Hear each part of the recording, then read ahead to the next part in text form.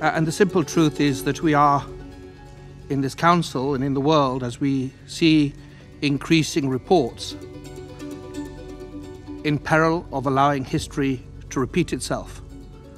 The same miserable history that compelled this council in 2005 to refer this Darfur situation to the ICC. We are, by any analysis, not on the precipice of a human catastrophe, but in the very midst of one. Sudan's history has been marked by a series of ethnic tensions, religious disputes, and armed conflicts over valuable resources. These events have shaped the nation's trajectory and left a profound impact on its people.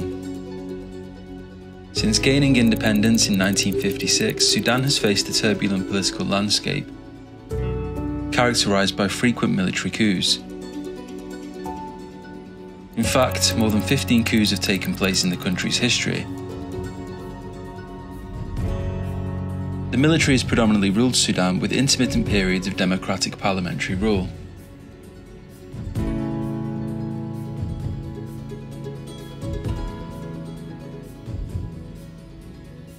What about the current situation? Well, in 2023, violent clashes erupted between the Sudanese Armed Forces, known as the SAF, and the paramilitary Rapid Support Forces, known as the RSF.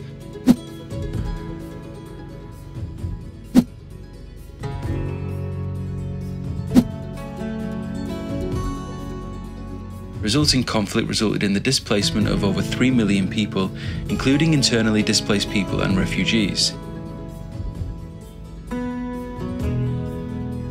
The repercussions of these conflicts were so severe that a vast majority of Sudanese civilians were forced to seek refuge in the neighbouring country of Chad. In fact, according to the United Nations, the majority of these displaced individuals find themselves in the country, desperately seeking safety and shelter.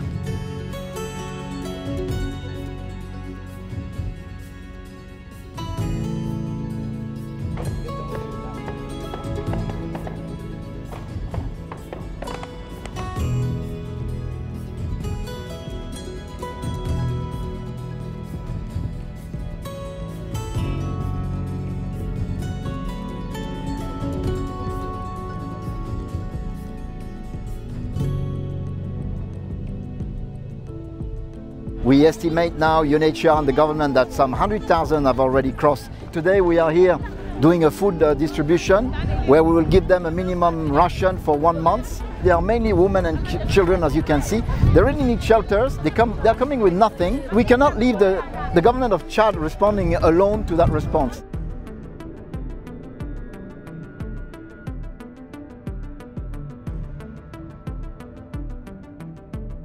In the roads, they took us everything, money, food, clothes, and even they killed, you know, the relatives and the friends, you know. That was difficult time.